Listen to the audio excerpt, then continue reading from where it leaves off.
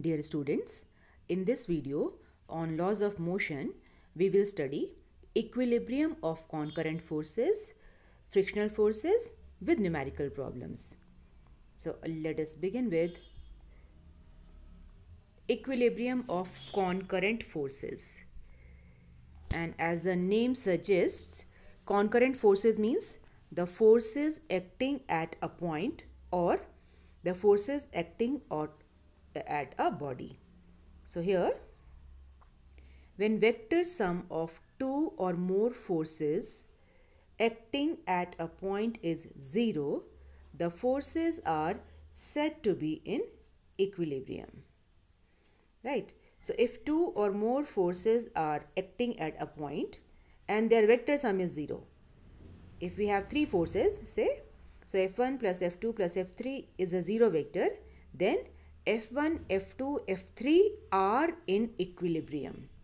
And, okay. So, when vector sum of forces acting at a body is zero, the body is said to be in equilibrium. And if we use the second law of motion, F is equal to ma, and since F is 0, this is 0 vector, this implies acceleration a is 0 vector and this implies velocity v is 0 or constant.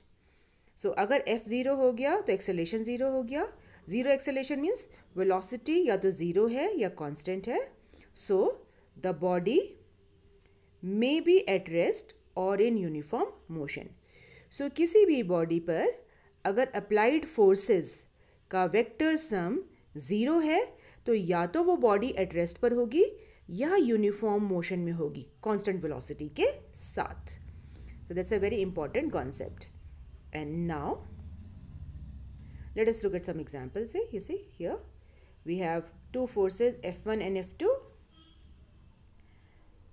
F one and F two are equal and opposite they are working at a single point and their sum is zero अगर यहाँ पर कोई body रखी हुई है और equal and opposite forces लगा दें तो उनका सम ज़ीरो हो जाएगा and the body will remain at rest okay let us take some more examples here we have F one F two and a third force F three acting at this one point so we have to find out their vector sum so complete the parallelogram for F one and F two और F one और F two का आपने parallelogram complete किया तो आप देख सकते हो कि एफ़ वन और एफ़ टू का सम ये वाला वेक्टर होना चाहिए।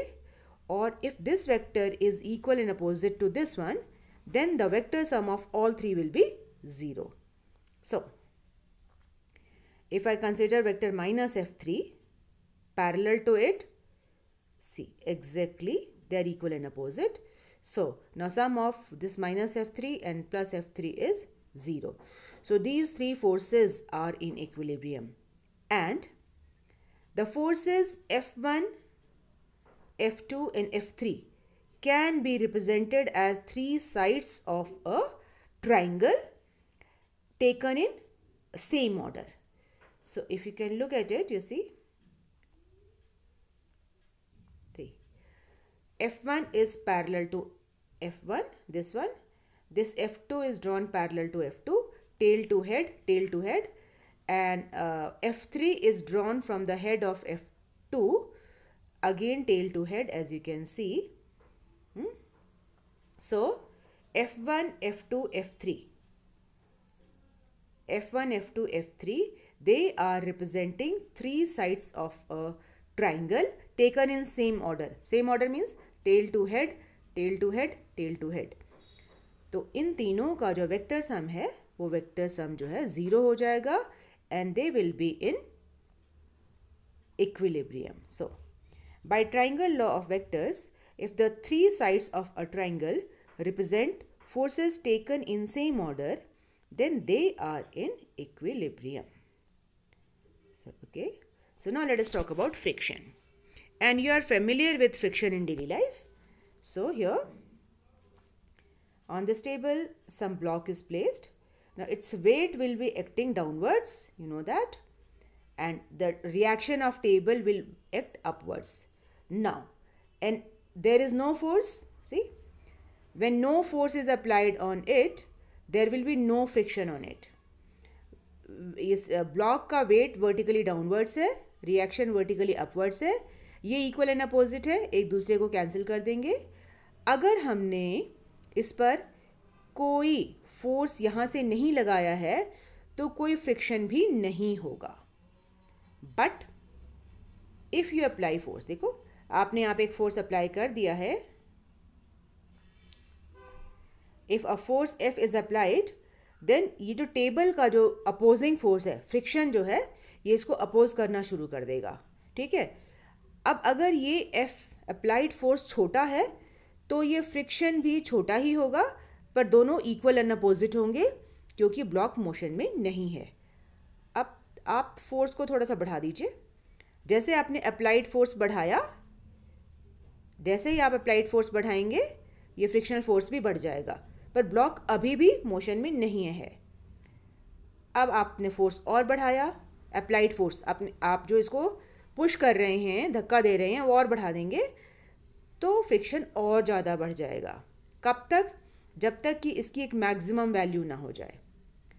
और जैसे ही ये वाला जो अप्लाइड फोर्स जो है, वो इस मैक्सिमम फ्रिक्शन से ज़्यादा हो जाएगा तो ये ब्लॉक मोशन में आ जाएगा। और मोशन में आने पर भी फ्रिक्शन बना रहेगा। And that friction is F K called kinetic friction so this is a daily life experience you can have a second look at this one you see starting from the beginning you see you are applying forces and you increasing the applied force and then it is start moving so see how we interpret it in physics so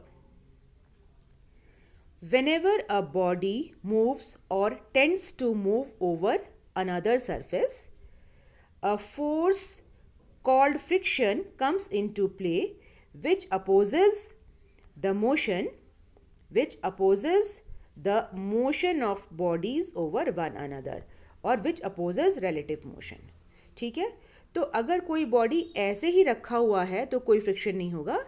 लेकिन अगर आपने इस पर force लगा दिया then it tends to move हो सकता है कि मोशन में नहीं हो। If it tends to move तो फ्रिक्शन अपने आप आ जाएगा। और अगर आपका अप्लाइड फोर्स ज़्यादा है, आपने ज़्यादा फोर्स लगा दिया, ये मोशन में आ गया, तब भी फ्रिक्शनल फोर्स होगा। सो फ्रिक्शन फ्रिक्शनल फोर्स और friction always opposes motion okay and now the force Fs opposing the applied force when the body is not in motion is called static friction. अगर आप force लगा रहे हो body motion में नहीं है तो उस वाले फ्रिक्शन को हम कहते हैं static friction and in that case the applied force is equal to static friction और static friction is self adjusting friction आपने देखा कि जैसे जैसे अप्लाइड फोर्स बढ़ता है वैसे वैसे स्टैटिक फ्रिक्शन बढ़ता जाता है। So this is a self adjusting force और सेल्फ एडजस्टिंग फ्रिक्शन अब अब आपने देखा कि इस, ये जैसे जैसे हम ये फोर्स बढ़ाते हैं, ये फ्रिक्शन बढ़ना शुरू हो जाता है। कब तक?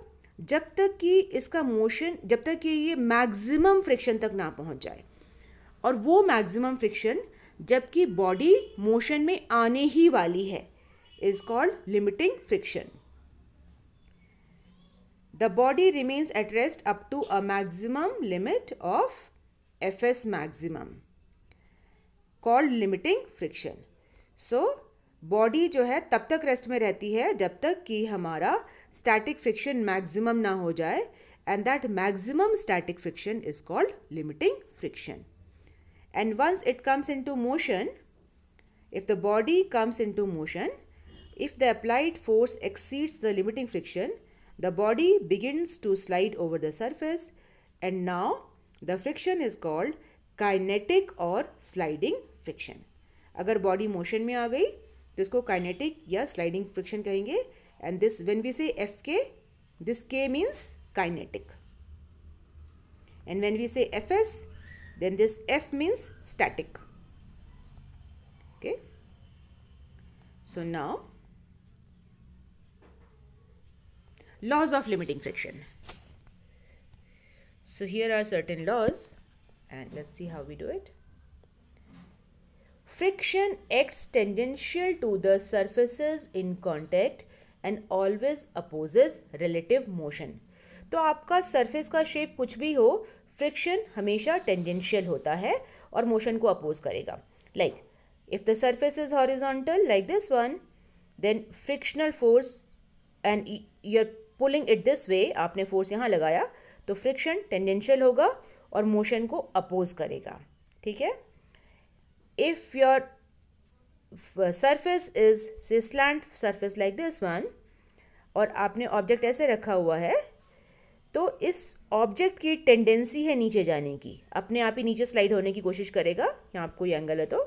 तो फ्रिक्शन को अपोज करना है, वो अपोज करेगा and it is tangential to surface so it will be upwards exactly in the same way हम सरफेस का शेप कुछ भी ले सकते हैं। Supposing the surface is like this one and an object is placed here अब अगर ये ऑब्जेक्ट जो है इधर की तरफ़ स्लाइड करने की कोशिश करेगा तो फ्रिक्शन इधर होगा। And say you have a cycle a wheel is there right और अगर ये व्हील इस तरीके से मूव कर रहा है turning like this one so at this point the wheel is going backwards wheel इधर जा रहा है साइकिल आपकी भले ही आगे चल रही है friction will be in forward direction क्योंकि at this point point of contact पे जो मोशन है वो पीछे की तरफ़ है तो फ्रिक्शन यहाँ पर आगे की तरफ़ होगा okay so the simple friction always opposes relative motion and always tangential to the surfaces in contact another thing limiting friction is independent of area of contact between the bodies so bodies का area of contact कम हो या ज़्यादा हो उससे कोई फ़र्क नहीं पड़ता एक ब्लॉक आपने ऐसे रख दिया है तब भी फ्रिक्शन वही होगा उस ब्लॉक को आपने ऐसे रखा है तब भी फ्रिक्शन वही होगा it does not depend on the area of contact between the bodies but limiting friction depends on the nature of bodies in contact जो बॉडीज हैं कॉन्टेक्ट में उनके नेचर पर डिपेंड करेगा। दैट मीन्स कि उन उनके मॉलिक्यूल्स के बीच में इंटरेक्शन कैसे होता है? So let see Supposing this block is placed on a surface and a force F is applied, then friction is opposing it and the weight of the block will act vertically downwards. Reaction of the surface is upwards. Right. And uh, remember we are talking about limiting friction. Limiting friction is the maximum possible static friction. जबकि ये block motion में आने ही वाला है but ये motion में नहीं है on the verge of sliding right so this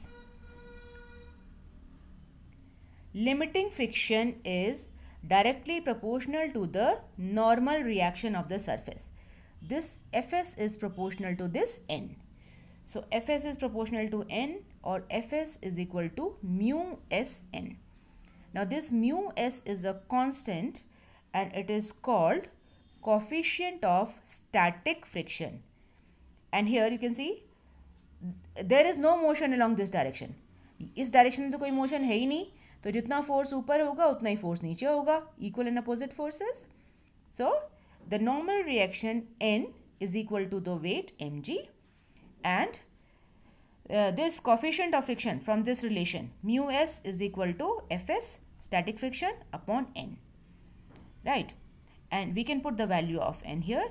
So if you do so, the frictional force Fs is equal to mu Sn is equal to mu S mg. So frictional force is mu n or mu mg. Limiting friction.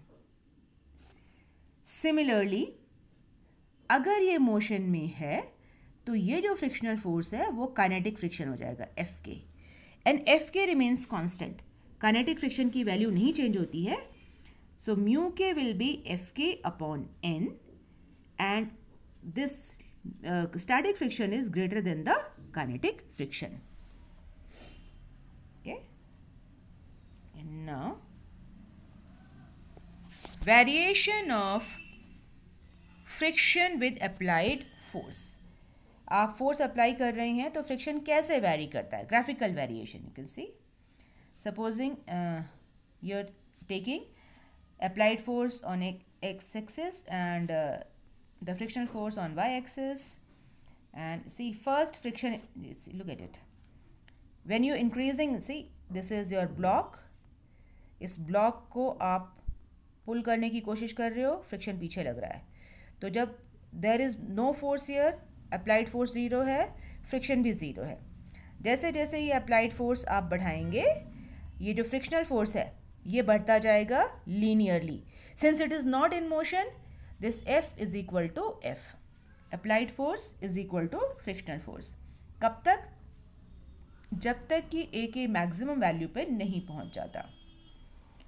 So this part is showing static friction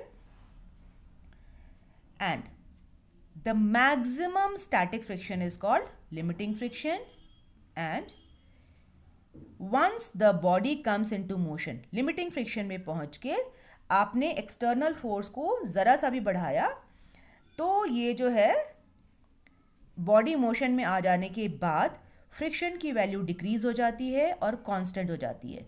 So kinetic friction is slightly lesser than limiting friction and remains constant okay that's a very important concept. And let's see. As the applied force increases from zero on a body the static friction increases linearly applied force is equal to frictional force till it reaches maximum value the limiting friction on further increasing the applied force the friction decreases slightly and becomes constant Now this friction is called kinetic friction. And अगर इसको आप explain करना चाहें कि kinetic friction जो है थोड़ा सा कम क्यों होता है तो जस्ट सी फ्रिक्शन का एक बहुत बड़ा कॉज है कि सरफेसेस में इरेगुलरिटीज़ होती हैं और इनकी इरेगुलरिटीज़ एक दूसरे में लॉक हो जाती हैं। So once it comes into motion जैसे ही मोशन में आ जाता है तो इनकी इरेगुलरिटीज़ को, जो सरफेस रफनेस है, उस रफनेस में जैसे इनकी इरेगुलरिटीज़ हैं, उनको लॉक होने के लिए समय नहीं मिलता। They do not get time to get locked again and then they are there is inertia of motion also so इस इनर्शिया ऑफ मोशन और इस लॉकिंग में डिले होने की वजह से काइनेटिक फ्रिक्शन की वैल्यू कम हो जाती है and now angle of friction so for this we are going to find out angle of friction let's see how we define it so here uh, we have applied force on this block. Frictional force acting opposite to it tangential to the surface. Weight is acting downwards normal reaction upwards. Now we will take resultant of this normal reaction and this frictional force limiting friction. So complete the parallelogram and this is the reaction C. So this is normal reaction and this is limiting friction इन दोनों का resultant है ये वाला vector अब ये resultant जो है normal से जो एंगल बनाता है, उसको हम कहते हैं angle of friction that is how it is defined so I hope the picture is clear to you let's see how we say it the angle of friction for two bodies is equal to the angle between the normal reaction and the resultant of frictional force and normal reaction. Frictional force कौन सा? Limiting friction.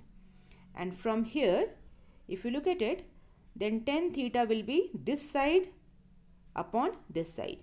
ये side जो है आपकी F S के parallel है तो ये साइड एफ एस हो गई और this side is N so tan theta is equal to perpendicular upon base this perpendicular is equal to F S base is N and अभी अभी आपने देखा कि F S upon N is equal to coefficient of static friction so this tan theta is equal to mu S this is called angle of friction so you must remember the definition and now angle of repose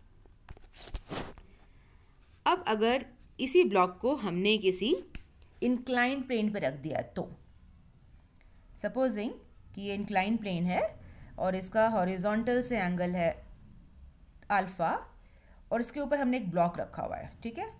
ना weight always acts vertically downwards and see normal reaction जो है वो surface के perpendicular होगा always it has to be normal normal means perpendicular and अब इस body की tendency है नीचे स्लाइड करने की तो friction always opposes motion so friction will be in upward direction you can see this friction upwards and now what we do is we will okay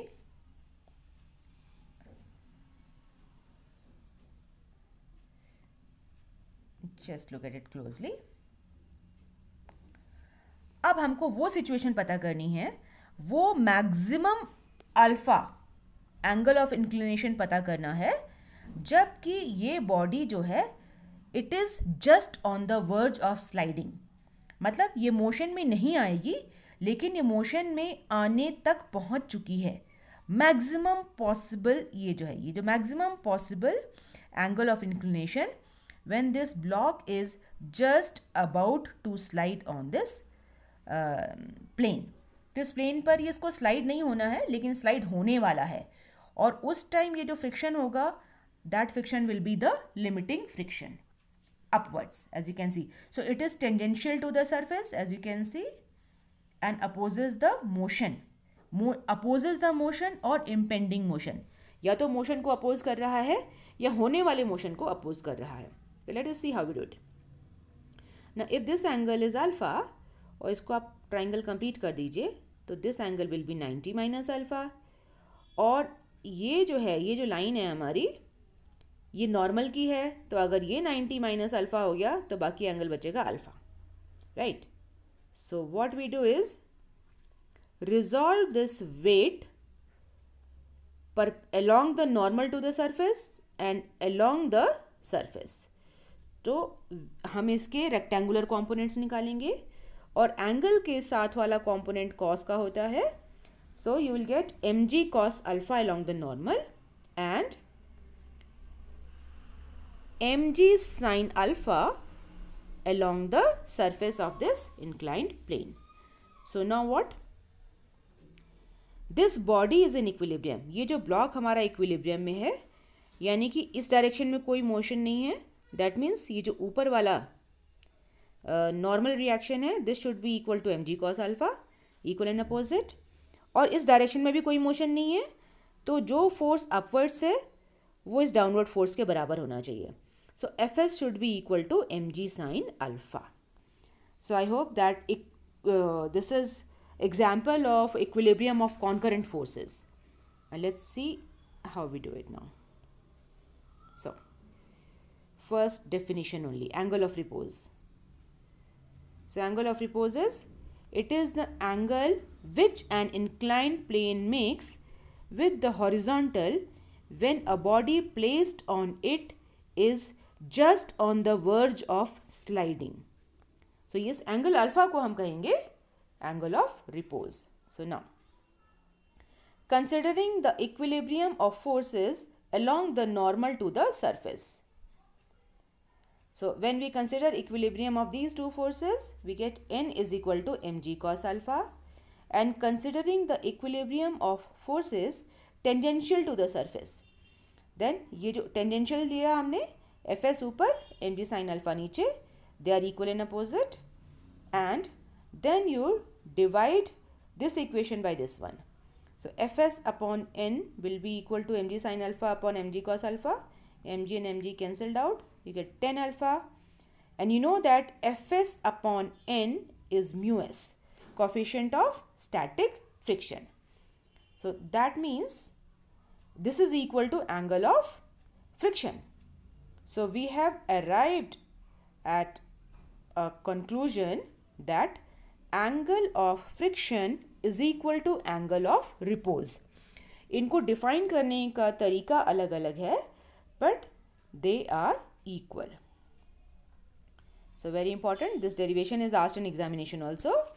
And let us take a numerical problem. This is based on um, equilibrium of concurrent forces. So let's see how we do it. A 4 kilogram mass is suspended by a string of length 1.50 meter from a rigid support. A horizontal force of 30 Newton is applied at 50 centimeter from the support. Find the angle made by the string with the vertical in equilibrium and also find the tension in the string. The value of acceleration due to gravity is given to be 10 meter per second square. तो सबसे पहले तो आप इस question को पढ़ के try to draw the diagram जब आप फिगर बनाते हैं तो आपको क्वेश्चन समझने में बहुत आसानी मिलती है। So we have a string कितनी? 1.5 metre long and a 4 kilogram mass is hanging from it and simply इसको हमने हैंग कर दिया तो इसका वेट जो है वो नीचे करेगा। And weight will be equal to M G mass is four kilogram G is given to be ten so its weight is forty newton acting downwards अब इस वेट की वजह से, इस मास की वजह से स्ट्रिंग में टेंशन होगा upwards and in this situation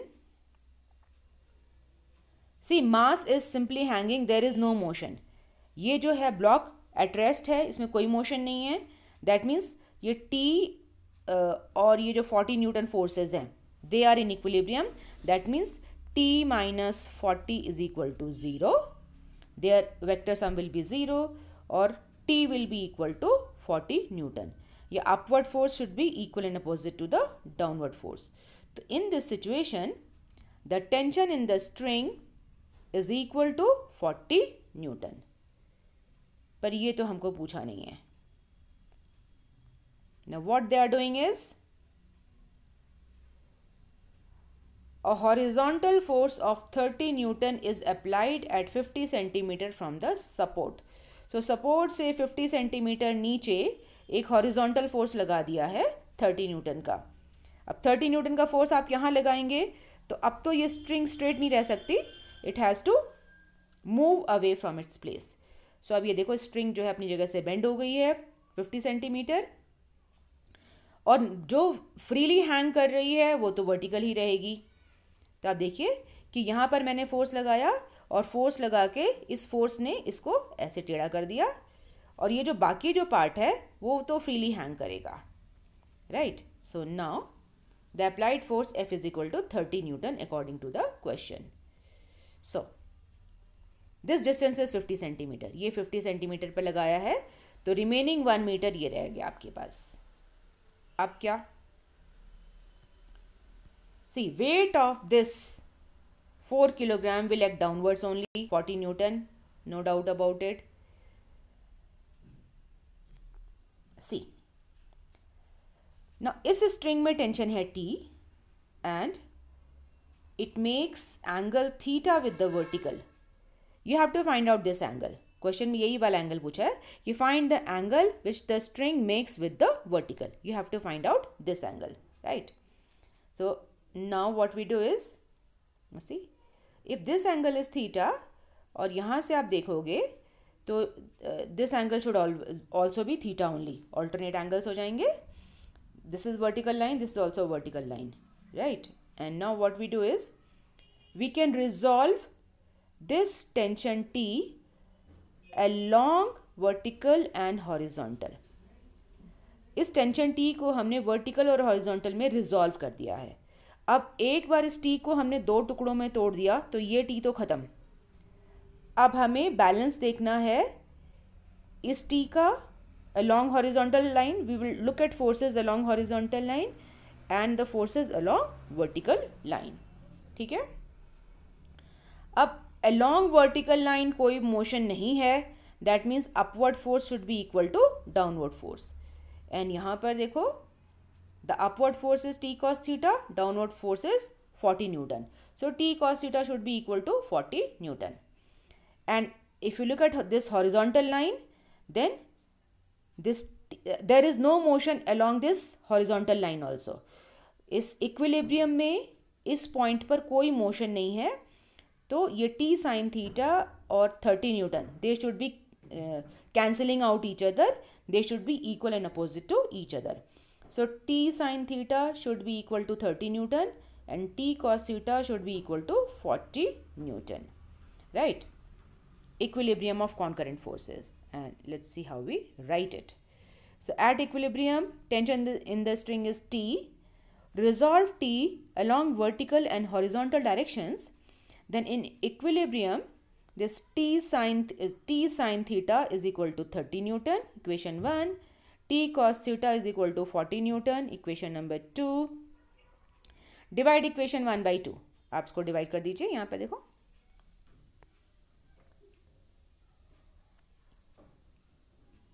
so divide this equation by this equation you get t sine theta upon t cos theta is equal to 30 upon 40 t and t cancelled you get tan theta is equal to three upon four तो हमने vertical से angle निकाल लिया है अब क्या करेंगे? I want to find out tension T also so what we do is squaring and adding these two equations इन दोनों इक्वेशंस को स्क्वायरिंग एंड एडिंग कर दीजिए। Left side you will get T square sine square theta plus T square cos square theta T square common ले लो।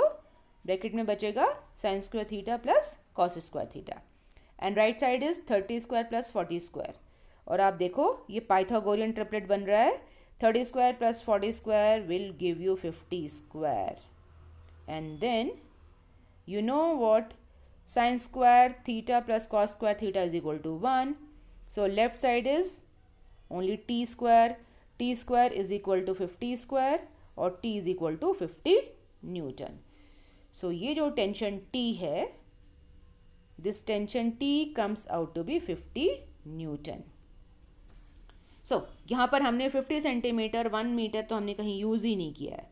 So it is not necessary to use every given information and इसको करने के और भी तरीके हो सकते हैं। For example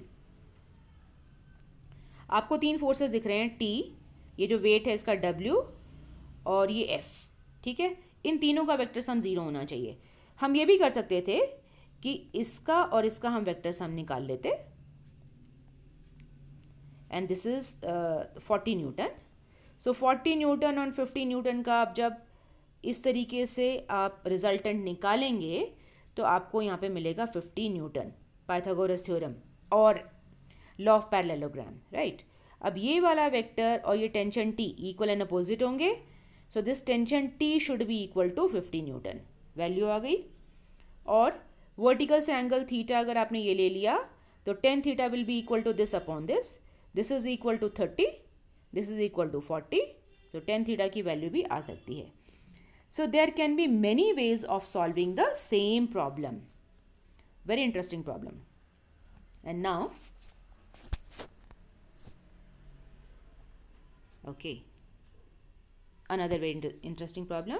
Okay, let's look at the question first. The coefficient of kinetic friction between a block and an inclined plane, inclined surface is 1 upon under root 3 if the angle of inclination of the plane is alpha, find the acceleration of the block down the plane. और यहाँ पर values दे रखी हैं mass M is five kilogram G is ten metre per second square and the angle alpha is forty five degree okay let's see so if you look at it this angle alpha is given to be 45 degree and one more information is given to you which is of interest. So mu s is given to you 1 upon root 3 and 1 upon root 3 is 10 30. That means angle of repose is 30 degree. हमें इस block का और इस inclined plane का angle of repose पता है 30 degree means अगर हमने इस ब्लॉक को थर्टी डिग्री पे रखा होता, यहाँ पर रखा होता तो ये ब्लॉक मोशन में नहीं आता. पर इसको हमने रखा है फोर्टी फाइव डिग्री पर. So block will definitely come down ठीक है? अब ये नीचे आ रहा है तो उसके मोशन को हमें कंसिडर करना है. तो see what I want to find out acceleration of the block down the plane. So, one thing is clear that this angle alpha is greater than the angle of repose. So, इस block को नीचे आना है। अगर ये angle alpha की value कम होती सपोजिंग हमें एंगल अल्फ़ा 15 डिग्री या 20 डिग्री दिया होता तो आप क्लियरली कहते कि ये ब्लॉक नीचे आएगा ही नहीं एक्सेलेशन ज़ीरो होगा। But it is not happening okay so now let see so, the block is coming down with acceleration a so let us look at the forces acting on this block so क्योंकि block को नीचे आना है तो इसमें force frictional force ऊपर की तरफ़ लगेगा and this is kinetic friction right tangential to the plane and uh, as in the previous case the weight of the block will act vertically downwards normal reaction will be perpendicular to the surface 90 डिग्री पर है इस M को along and the surface and normal to surface आप resolve uh, कर लीजिए। तो if this angle is alpha this will be alpha और एंगल के साथ वाला component cos M G cos alpha angle से अवे वाला component M G sine alpha so यहाँ पर तो क्योंकि there is no motion normal to the surface तो ऊपर वाला फोर्स और नीचे वाला फोर्स बराबर होंगे।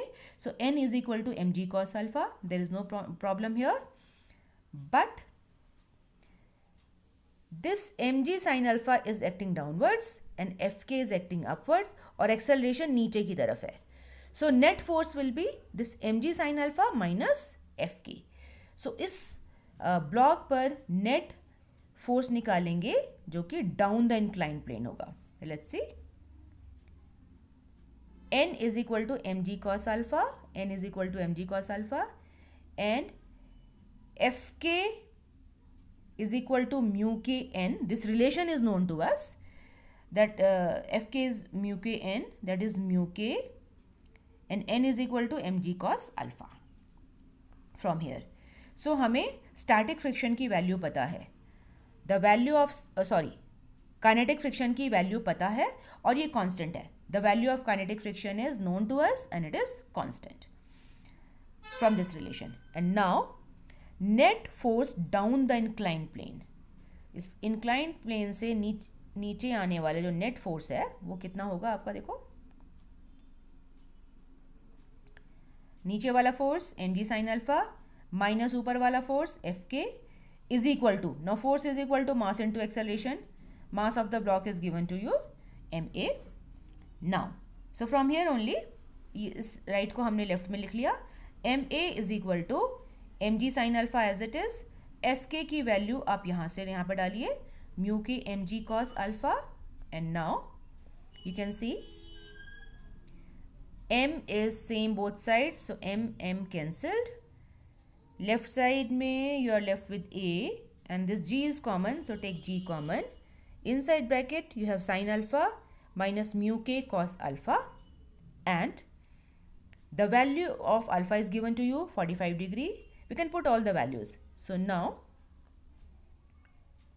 the acceleration of the block A is equal to the value of A g is 10 into sine 45 minus mu k is 1 upon root 3 given to you minus cos 45 and uh, putting all the values see sine 45 is equal to cos 5 45 is equal to under root 2 1 upon under root 2 so ये a आपका as it is यहाँ से 1 upon under root 2 common आ गया तो आपको बाहर मिलेगा 10 upon under root 2 and in this place you will get 1 minus 1 upon root 3 and इसको डिवाइड करो तो आपको मिलता है 5 root 2 inside bracket you get root 3 minus 1 upon root three यहाँ पर ओहो अपॉन रूट थ्री यहाँ पर छूट गया so root three minus one upon root three यहाँ पर आएगा।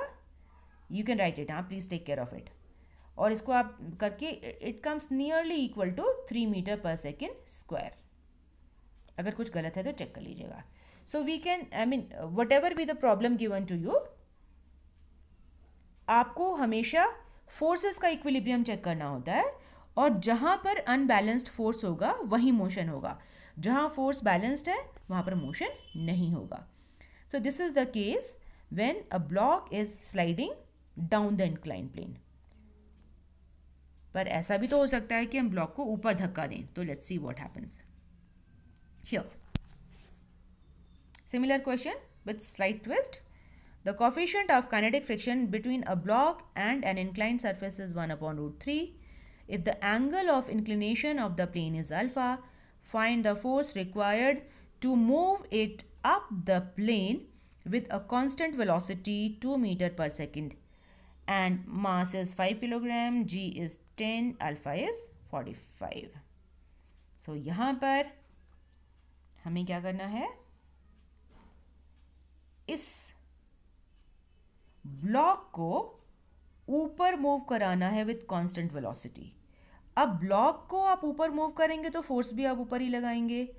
और ब्लॉक ऊपर मूव होगा तो friction always opposes motion so now friction will act downwards आपने पीछे देखा था, पीछे वाले केस में फ्रिक्शन अपवर्ड्स था, लेकिन यहाँ पर फ्रिक्शन डाउनवर्ड्स है. Because friction always opposes motion so now the applied force will be upwards and the velocity upwards is constant. Or if the velocity is constant its acceleration is zero. So let us see how we do it here.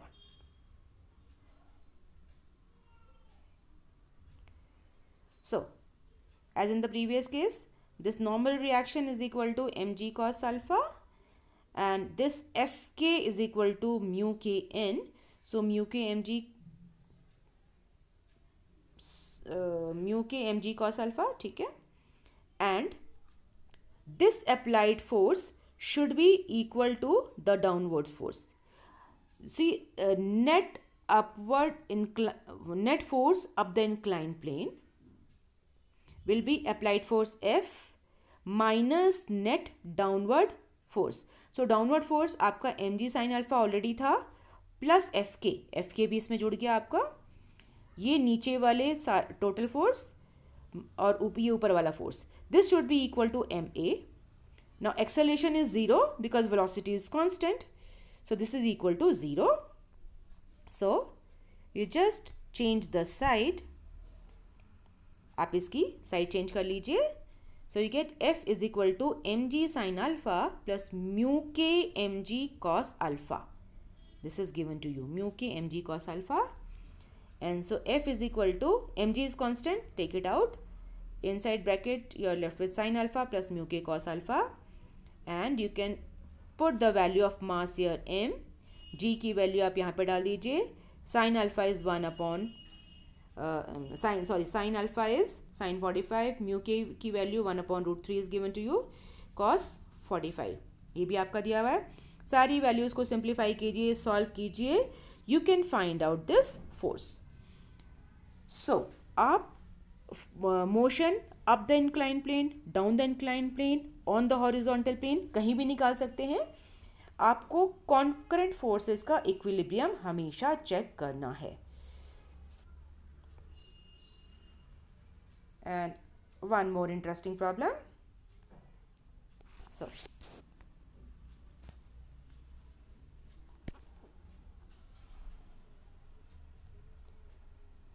here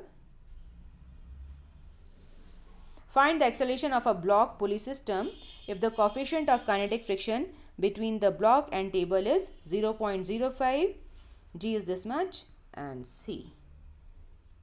Here comes a table and a block of 10 kilogram resting on it.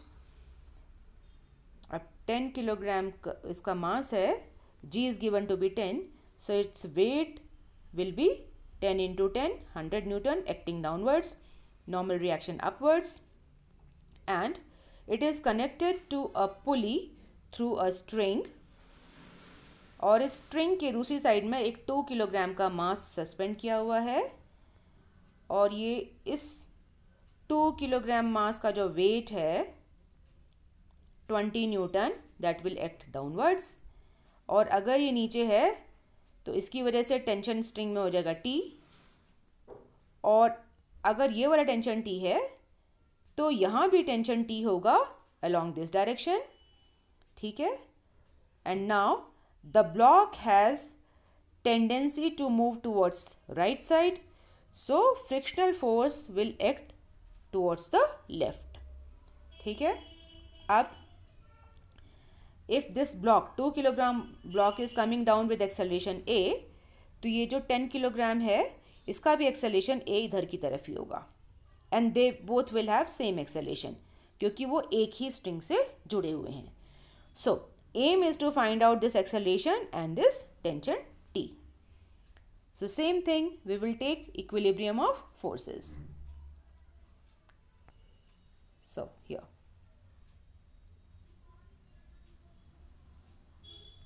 Normal reaction of table this n will be equal to 100 newton equal and opposite the frictional force f it is kinetic friction क्योंकि motion में आ रहा है is mu k n mu k is given to be 0.05 into 100 that is 5 newton so so, जो frictional force है वो 5 Newton हमको पता चल गया एंड अब क्या करना है for motion of ten kilogram mass इस मास के मोशन के लिए we will take equal net forces acting on this ten kilogram mass so इस एन और हंड्रेड एन ने तो कैंसिल कर दिया. Net force along this direction will be tension T minus friction F and that should be equal to M A acceleration is known to you so using this relation only tension T minus friction F is equal to ma that is T minus F. F is 5 Newton is equal to 10 into A. Now, for motion of this mass, ये mass नीचे जा रहा है तो clearly this tension uh, sorry this weight 20 Newton is more. So you will get 20 Newton minus tension T is equal to MA. So see what you get. So for motion of second uh, 2 kilogram mass, weight twenty newton है T is equal to M A so twenty minus T is equal to mass is two kilogram two A तो अब आपके पास ये दो equations हैं और दो unknown quantities हैं। इन दोनों इक्वेशंस को आप ऐड कर दीजिए टी एंड टी कैंसिल हो जाएगा। Twenty minus five will give you fifteen and ten plus two twelve A simplify करो the acceleration comes out to be five upon four metre पर सेकेंड स्क्वायर और इस acceleration की value किसी भी एक इक्वेशन में डाल दीजिए। आप जो है टेंशन टी की वैल्यू निकाल सकते हैं। So putting the value of this tension in any in equation number one tension comes out to be seventeen point five newton okay so with this we come to the end of this video and I am sure and I hope that you all have understood it and it is useful to all of you. Thank you for watching this video.